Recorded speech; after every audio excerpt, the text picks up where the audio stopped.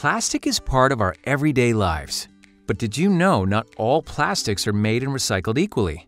Inside the well-known recycling triangle logo, a number can tell us if the product is recyclable. Here's a look at what each number means. First, polyethylene terephthalate is a clear, hard plastic. It can be recycled into flakes to make new bottles and fleece. It's intended to be used only once, as the plastic could leach chemicals. High-density polyethylene is highly recyclable. It can be made into many products, such as food containers, patio furniture, and more.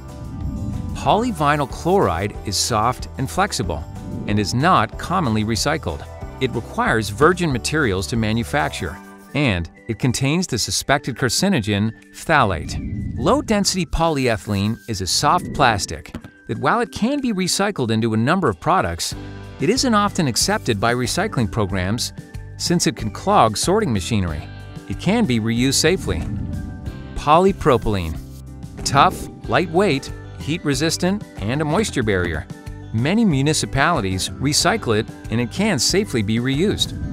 Polystyrene is generally not accepted by recycling programs and contains the known carcinogen styrene.